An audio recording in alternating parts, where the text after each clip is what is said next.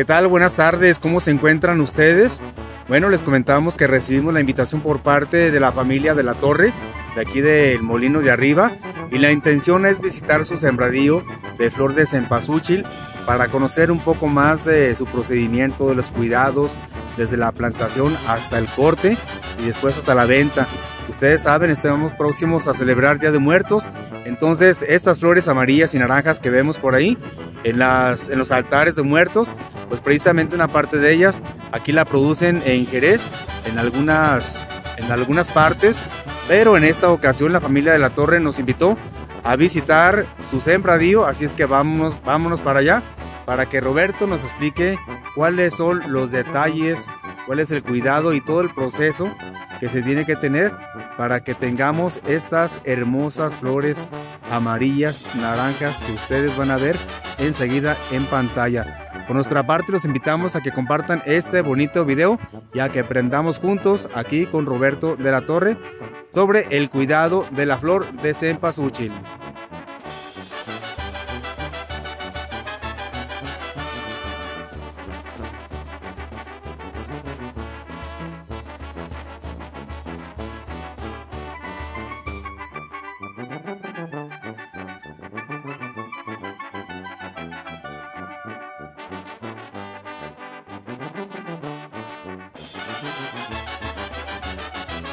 Bueno, ya nos encontramos aquí en el sembradío de, estas flores maravillosas, que por cierto, el olor, bueno, corre aquí por todos lados. Hay varios sembradíos aquí, yo recuerdo que hace algunos 10 años estuvimos al lado del maestro Samuel Correa y también venimos a hacerle una entrevista a un señor, ¿verdad? Y ahora en esta ocasión, como lo dijimos, estamos en el plantío de, del joven Roberto de la Torre. Roberto, ¿cómo te encuentras? Bien, bien, bien, aquí estamos. Bueno, pues mira, se acercan las fechas, unas fechas la, muy bien importantes, una tradición de nuestro México, la celebración de Día de Muertos. Y esta flor no puede faltar en las ofrendas por ahí que realizan en los altares, en los cementerios. Y ahorita es muy concurrida, entonces el interés de conocer un poco más de cómo se siembra, el tratamiento que lleva, todo lo que es el proceso de los cuidados que requiere esta flor. Así es que adelante Roberto, vamos a conocer a detalle de qué se trata este asunto. Muy bien. Sí, pues esta planta es conocida en México, muy conocida más que nada por la celpasúchil, conocida por la 20, mm, también llamada por la planta de la, flor de las 20 flores. este, aquí en esta zona, bueno, cada parte de, de México es distinta, pero comúnmente aquí hemos estado manejando las fechas en sembrarlas a partir de los últimos de julio. A finales de 20, del 21 en adelante se puede este, ya poner el márcigo. El márcigo es la parte donde va la semilla y el trasplante en 20 días después. Y ya de ahí se hacen los surcos y se va cada 3, cada 4 pasos poniendo una cantidad de 8 o 10 plantas que sería lo que es el trasplante del márcigo al, surco. Este, ya en el proceso de cuidados, en el proceso lo que es este, con el tiempo de aquí, que la llamada de tres meses, a llegar a la fecha hoy, bueno, en esta fecha ya finales de octubre y principios de noviembre, este, se recomienda regar una vez cada cuatro, cada ocho días, para un mantenimiento óptimo de la misma planta.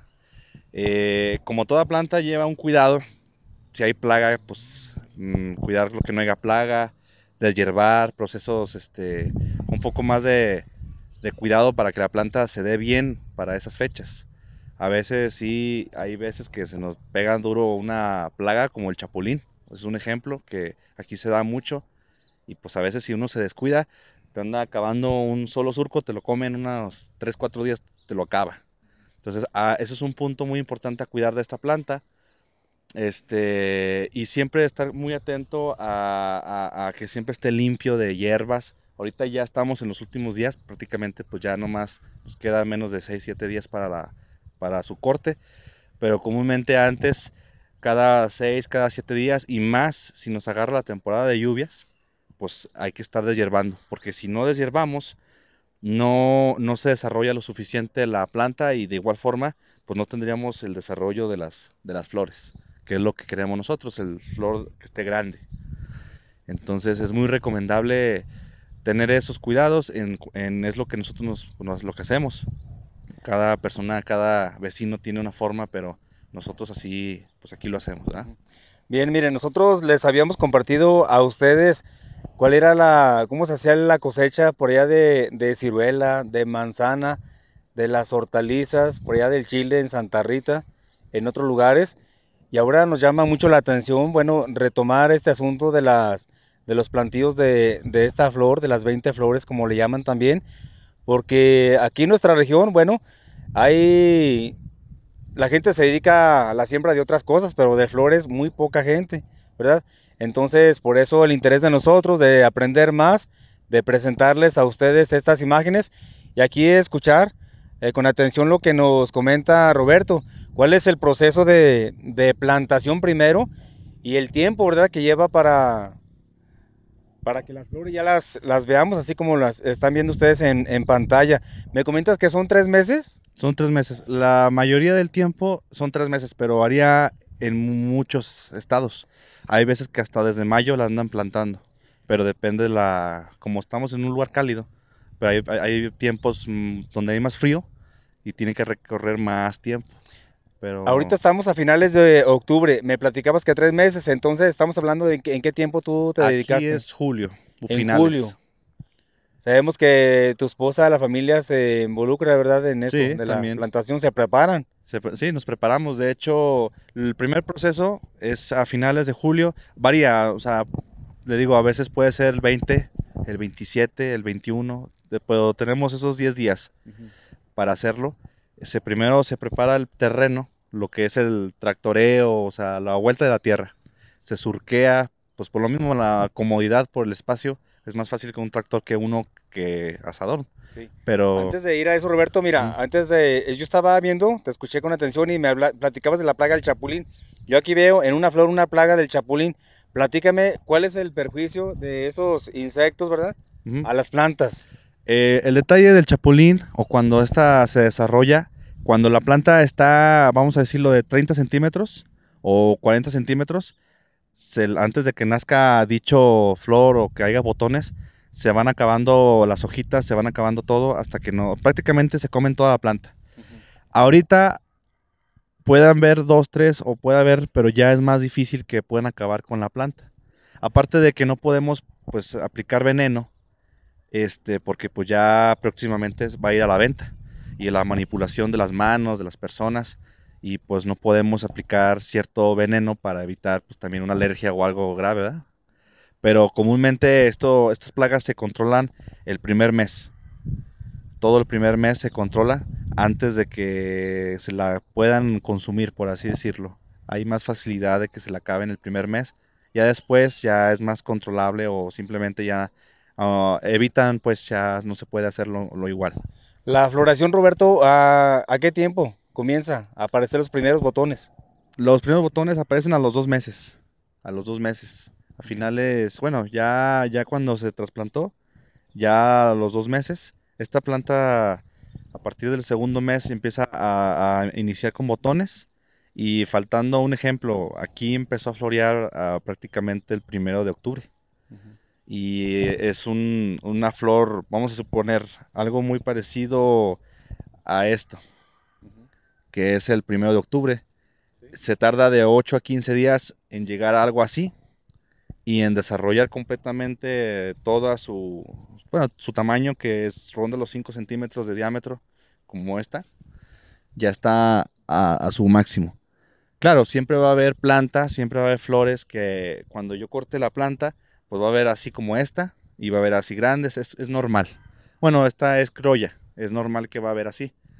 Muchas a veces pensamos de que todas tienen que estar perfectas, pero no, o sea, siempre va a haber más grandes, más pequeñas, porque la planta sigue aventando botones.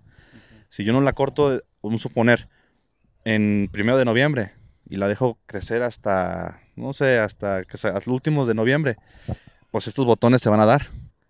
Voy a tener la planta, la flor más vieja, que sería esta, y, nue- y nuevos botones, se va a ver más, pero ya estaría pasada. Hay diferentes tipos de, de- de flores.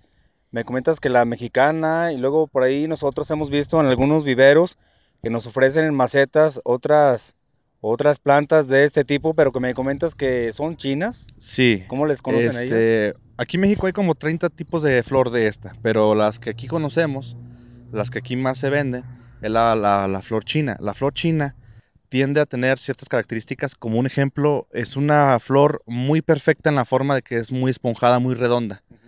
Si nos damos cuenta, o posiblemente en esta, estas son un, un poco más planas y tienen los pétalos mucho más, este, mucho más grandes. Más grandes y más definidos, más, abiertos. más abiertos. Estábamos Tiene un color mucho más fuerte. Aquí también, pues en el video no se puede apreciar, pero el olor es muy, es muy fuerte. De hecho, es muy fuerte. La, la- la planta china o lo que es la flor china, pues es híbrida. Es una genética que fue creada, pues, eh, china y la venden aquí la semilla para producir este, este, pues este negocio. Pero tiene ciertas características que la hacen menos olor, menos color y no se puede germinar. O sea, es una semilla estéril, vamos a decirlo así. Ujú. O sea, ya un suponer, si yo agarro esta planta y ya seca o ya un proceso y esta misma, que aquí mismo está la semilla, y hago el proceso de sembrar esto, me va a volver a dar planta. Pero si yo compro una semilla que sea china como tal, no vuelve a, no se vuelve a reproducir, no vuelve a dar nada. Está de hecho genéticamente modificada para que de esa forma, pues no sea muy negociable, como quien dice, en términos de negocio, para que los chinos sigan vendiendo, pues ellos tienen que crearla así estéril para que le sigan consumiendo la semilla china. Este, claro, siempre hay que apoyar el comercio mexicano, ¿ah? Claro. Aunque claro, los mismos mexicanos la vendemos y está bien, pero es muy importante saber eso, que la mexicana, la mexicana, pues e- es esta. Pues entonces, mira, básicamente lo que nos ofrecen ahí los viveros, en los, en estos negocios de venta de, de flores, es para las ofrendas, ¿no? Las macetas, para que las llevemos Claro. para estos días. Seguramente ustedes van a ver muchas flores amarillas en todos lugares, pero son propiamente para eso, para la entrega, ¿verdad? Sí, de una ofrenda. Pero ya para en cuestión de propagar, multiplicar estas flores, bueno, aquí estamos escuchando a Roberto de que debemos seleccionar bien, pues, eh, la planta. Sí, sí, es- tiene mucho que ver eso. Y aparte de que comúnmente las, las, las cepoaldo, lo que es la china, se usa mucho pues para los comercios, para de- decorar, porque es más cómoda llevar una maceta.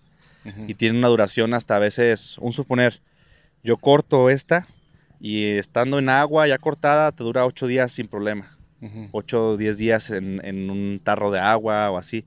Y ellas como están en maceta, pues les puede durar hasta diciembre, ¿ah? con buenos cuidados, porque es una, una, pues es más como genéticamente modificada para eso. Bien, ahorita comentabas de la humedad. A la gente del campo se queja de que este año fue muy malo en cuestión de lluvias, que las. Milpas no se lograron, muchas de ellas. Pero ¿cuál, en qué influye la, falta de agua o no en el cuidado de estas plantas, Roberto? Ok, eh, bueno, a todos pues nos afecta mucho el, el- que no haya agua, pues a los que nos dedicamos al campo, ¿ah? Es muy importante eso. Comúnmente aquí, pues, este, pues nosotros, gracias a Dios, tuvimos, este, no, no es una planta que requiera tanta dicha humedad. Los primer mes sí, porque, este, cuando una planta de estas está pequeña o no tiene mucha hoja, mucha, ¿cómo se llama? Macoyez o que macoya, la humedad dura menos en el terreno. Entonces, a partir de que ya como ahorita, un ejemplo, ahorita, yo regué hace, hace, hace ocho días, pero yo no voy a volver a ocupar regar otra vez, porque la misma sombra, este, nos ayuda a conservar la humedad. Pero comúnmente la humedad de estas plantas es cada ocho días que no les falte el agua, que cada ocho días se riegue, se riegue, este, para que siempre esté bien, pues hidratada. Claro, ah, depende también la área y si llueve mucho, a veces pasa, en este caso en la inversa, que si llega a llover mucho también se echa a perder la, flo- la flor, porque el agua, comúnmente todas las plantas tienen cera, pero cuando la humedad persevera mucho en la, en la flor, las mancha, las deja, pues las empieza a hacer como manchas negras de humedad, pero ya estamos hablando de que tendría que estar llueve, llueve, un ejemplo, que lloviese hoy, mañana, pasado, o sea, mucho tiempo. Estos días eh, nos ha tocado climas, de repente se nos nubla todo el día, ¿verdad? Ujú. Ahorita, y eso le ayuda también a que se mantenga la humedad aquí en el terreno. ¿Qué pa- pero ¿qué pasaría si de repente sale un solazo tremendo? ¿Qué pasa con la flor? Pues de hecho no... ¿No se quema la flor? No, no, de hecho contrario, la flor entre más sol haya, mejor le va. De hecho ahorita que está nublado le afecta, de hecho, Ujú. Le afecta porque lo que queremos es que eh, refloríe más. Ah, Mientras que tenga humedad y esté el sol, es maravilla para la, sí. sí. de hecho ahorita que está nublado, hace cuenta que estos botones, bueno, estos ya no se van a dar, pero hace que se retrasen. Se ocupa pues sol para que se dé más, para que reviente, vamos a decirlo así. También una cosa, un truco o una forma de la al momento de que uno recrea o uno hace que uno deja de regarla y hace que se seque la planta un poco, hace que floree todavía más. O sea, la planta tiende a saber que va a morir o como quien dice como una forma de protección y empieza rápido a abrir botones para que caiga la semilla. No sé si me entiendan. Esa qué interesante, es una lo que es la naturaleza de la planta, ¿verdad? Sí, de hecho yo para, si la riego mucho, mucho, es para mantenerla viva y que se, que, esté viva la flor y que esté muy, muy, muy húmeda. Pero yo ahorita en este caso que ya requiero que floree todavía mucho más, ya no tengo que regar. Para que de esa forma la planta requiera, como vamos a decirlo así, que se sienta en necesidad de ella de multiplicarse, por así decirlo. De reproducirse. Reproducirse, ella siente que va a morir y empieza a pasar justamente lo que vemos ahí. Esa es una planta que recibió un poco más de... y empieza a pasar esto. Se empieza a reventar. Cuando, cuando ya pasa más tiempo, solita se empieza a caer esto y esto empieza a caer al suelo. Pero eso lo hacen para ellas mismas, como quien dice, de hecho, cualquier cosa, también alfalfa, cualquier cosa que no se riega, bueno, que llega a un proceso madura y empieza a florear, empieza, es lo mismo. De igual forma la, la misma semilla empieza a caer. Bueno, es una forma de nosotros también aquí ya dejamos de regar. Obviamente se recomienda regar antes para que esté hidratada, ¿verdad? Bueno, al momento de cortarla que no se vaya tan, tan mal. Pero lo que me refiero es que es una forma de estimular la floración dejarla, no sé si decirlo sufrir, pero dejarla que se tenga un poco de sequía para que rápido revienten los botones y se, desarrollen como tal. Pero eso, eso ya es al final, no es este a principio ni nada, porque al contrario, al principio se requiere mucha mucha agua, que esté muy cuidada, que esté bien hidratada, porque pues también te dé muchos botones. pues esa es la idea. Muy bien, pues ahí está el plantío de flores, algunas naranjas, otras muy amarillas y otras apenas abriéndose. Y se acercan los días en que las familias aquí de, Jerez van a tratar de buscar esta flor para llevarle su detalle a sus difuntos. ¿Cómo es el corte que hacen? ¿Nos podrías explicar? Claro que sí. ¿Cómo hacen el corte ustedes de, de esta flor? Sí, bueno, principalmente ya empezamos a cortar a partir del 31 o el 30, ya a partir de este lunes que viene ya empezamos a, dar el corte. Este, y es muy sencillo, simplemente nosotros lo que hacemos, no sé si hay otro, eh, porque ahí sí yo desconozco, ¿ah? si hay otros métodos, pero nosotros usamos, este, ya sea una rosadera, o bueno, comúnmente se usa más eso. Hacemos el corte de la tierra, tanto así, unos 15 centímetros, se manipula y se lleva hacia la camioneta. Pero no se saca de raíz. O sea, realmente nada más se corta. Ya, ya mi esposa y su, bueno, quien está ayudándole, pues se encarga de hacer los manojos. Los manojos tienen que tener 30 centímetros, comúnmente 30 centímetros de la, vamos a suponer, de lo que están aquí hacia abajo 30 centímetros. ¿Qué pasaría, Roberto, si yo eh, hago el corte, pero la saco de raíz? Pues sería trabajar de más. Realmente la planta esta ya tiene un fin, o sea, no es, no vuelve a macollar, no vuelve a, o sea, si yo la corto, un suponer, aquí entre lo que es la espiga o aquí hago un corte, aquí va a volver a nacer otro botón. Pero pues esta planta en sí ya no, como la fecha nada más se vende a primero y 2 de noviembre, mi propósito no es que vuelva a florear realmente el negocio pues no es ese.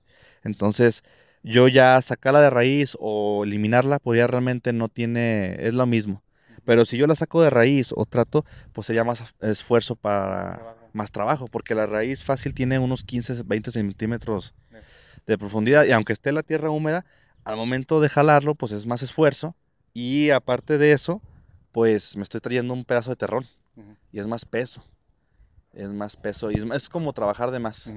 Bien, supongamos que ya hiciste el corte, las flores se acabaron, pasó el tiempo de la venta. ¿Y ahora qué sigue para el próximo año? ¿Cómo es que otra vez vuelves a multiplicar aquí tu sembradío? Ah, muy bien. se seleccionan, siempre se seleccionan las mejores cabezas. La, la, bueno, uno como cultivador de esta flor, o en este caso, siempre se da cuenta cuál fue la planta que llegó primero o la que floreó primero. Es muy importante. Es como, vamos a decirlo, genéticamente hablando. O sea, si un ejemplo, si yo vi que esta que tengo aquí fue la primera de todo el terreno, fue la que más rápido desarrolló, la que más rápido se dio, la más bonita y la más grande, para mí es una buena flor, una buena planta. Entonces, de esa forma, yo trato de conservar las cabezas en su mismo espacio, en su mismo terreno, para que se dé. Porque yo arrancarla, si yo arranco una flor, o sea, vamos a suponer que arranqué una buena, esta es sencilla, pero arranqué una así como estas, y yo la guardo, y a veces traen humedad. De hecho, yo si la estudio, se siente lo, lo, líquido, pues la humedad de la misma planta. Esa humedad va a hacer que se eche a perder. Entonces es muy, muy, muy recomendable que las que uno seleccione, vamos a decirlo, se queden ahí, que se sequen con el clima. O sea, que, que, pase, se va a hacer amarillo esto, se va a secar, se va a hacer como, se va, se va a ver feo, es normal. Se va a ver muy parecido a esta, esta ya está como seca, pasada, fue de las primeras que floreó, ya se va a empezar a secar. En un futuro esta se va a hacer toda así como café. Pero esta, un suponer, pasa ya un mes, dos meses después de la fecha, y yo las vuelvo a agarrar y ya está seca. La puedo almacenar en un lugar fresco, seco. Y esa misma me sirve para volver a tener semilla y volver a trabajar. Siempre y cuando yo seleccione la mejor calidad de semilla antes de guardarla. Si yo selecciono esta por error, las semillas ya, ya al momento de, de, desbaratarlas pues se ven iguales. Pero me va a dar pura sencilla. Me va a dar pura flor sencilla. Entonces ya esta no se vende. Se venden los pétalos también, la gente los busca para la tumba, tapizarla. Pero la que más se va a vender no es esta, sino la, la hembra. O macho, se le conoce también así. Pero es una, es una forma de almacenar la semilla. Este, y es muy importante seleccionar la, la mejor semilla. Eh, es la forma correcta, ¿verdad? Para que dé una buena producción. Porque hay veces que agarramos flores que compramos, las aguardamos la semilla y se puede dar o no, y hay mucha pérdida. Y la verdad, el trabajo, la inversión, es, pues sí es, es alto. No es fácil, la verdad. No.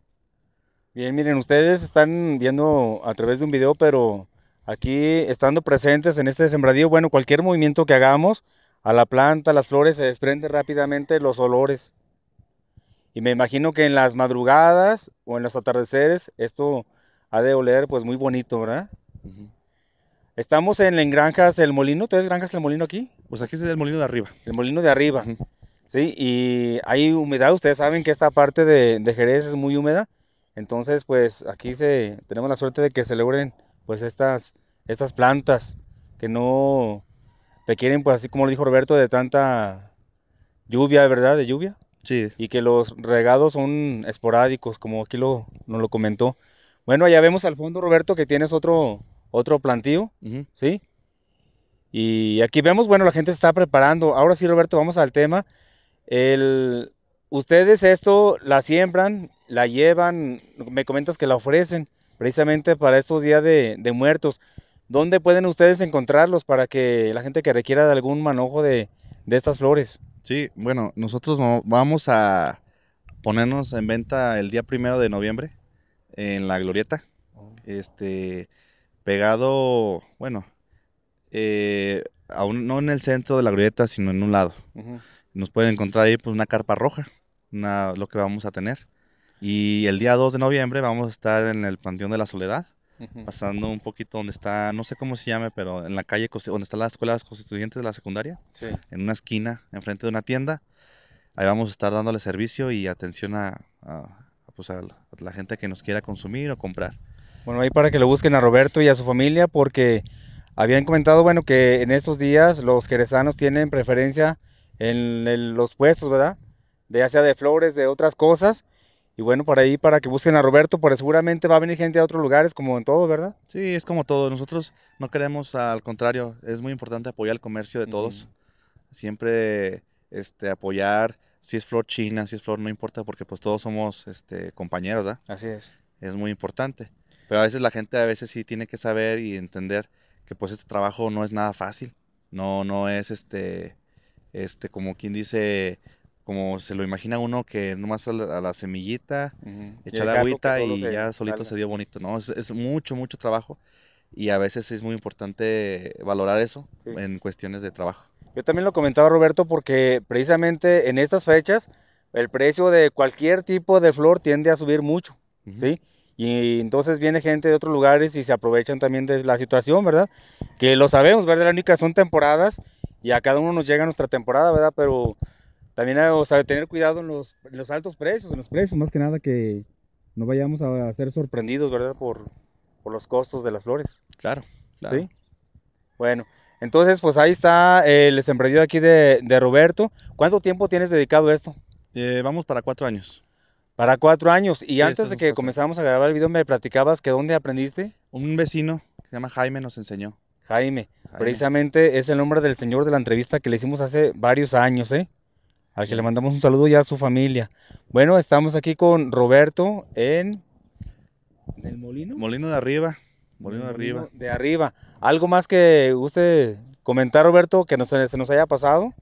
No, pues que pues realmente nos gusta hacer esto, lo disfrutamos y, y se siente muy, bueno, una satisfacción muy grande cuando ya se logra. Sí. Sí, sí, aparte de no lo hacemos tanto así como siempre es muy bonito. De hecho, yo el año pasado no nos fue muy bien en cuestión de ventas, pero aún así nosotros nos gusta, es algo que nos gusta realmente, es algo me gusta ver el terreno, el campo lleno de flores. Sí. Le digo, tenemos apenas nuestro cuarto año y el primer año estuvo el, el señor Jaime ayudándonos, bueno, nos estuvo apoyando aquí este, y nos enseñó cómo se manejaba. Claro, tuvimos nuestros errores el segundo año, el tercer año, hasta que fuimos aprendiendo, porque no es, este, no es así. ah, el año pasado se nos adelantaron, o sea, hay muchos retos, hay muchos retos. En el camino tienes que perfeccionar las, Sí, las cosas, falta- ¿verdad? Sí, todavía nos falta mucho más que aprender. Ay, es, es cuestión de tiempo y, y ir mejorando, ¿va? Agarrar consejos, los tips, que esto te va a servir mucho a ti para... Imagínate uno que empiezo, empiezo a plantar la, la- esta flor, pues me va... Voy a tener fracasos, ¿verdad? Poco a poco, y tú ya llevas cuatro años y estás aquí perfeccionando la, el proceso, ¿sí? Sí. Entonces, miren, aquí está un planteo muy bonito de flores naranjas y amarillas, ¿sí? Eh, todo depende del cuidado que le dé aquí su, pues, la- los encargados. Y es como en todo, si yo cuido una planta en la casa para que en tiempo de primavera pues salgan los rosales, lo que sea, pues todo influye, ¿verdad? En el cuidado que le demos a lo largo de, ese tiempo. Y es así como lo dice Roberto, si las ventas no fueron buenas, al menos ellos tienen la satisfacción de ver los sembradíos que las flores abrieron a su máximo esplendor, ¿verdad? Y es ahí cuando dices, bueno, valió la pena el trabajo, el esfuerzo de tres meses, porque tenemos flores pues muy, muy grandes como la estamos viendo en este momento, que son las que pueden servir para la próxima cosecha del año 2024. ¿Verdad, Roberto? Correcto. Pues ahí está, los invitamos a que en próximas fechas por ahí lo busquen a un lado de, de la glorieta y ya cercano el 2 de noviembre, ¿verdad? Ya. Eh, cerca del Panteón de Dolores, por ahí cerca de, de la calle donde queda la secundaria Constituyentes. Enfrente de la tienda. Bueno, de hecho ahí es el permiso que nosotros tenemos. Vamos a, a ubicarnos en esa zona, en esa calle, pues, en esa- cerca de esa calle. Pues qué bonita esta labor. Le digo que la gente del campo ya acudimos allá a los sembradíos y era interesante, ¿verdad? De llegar ahora con la gente que se está pa- preparando para estas fechas, pero que se dedican a la, al cultivo de la flor. ¿eh? Pues muchas gracias, Roberto. Muchas gracias por la invitación que nos hiciste de la voz de Jerez para compartirle a nuestros seguidores eh, todos estos detalles que nos acabas de, de comentar y aprender un poco más de su labor, de su tarea. De nada. Adiós. Nos vemos pronto, cuídense mucho, les encargamos compartir estos bonitos videos. Gracias.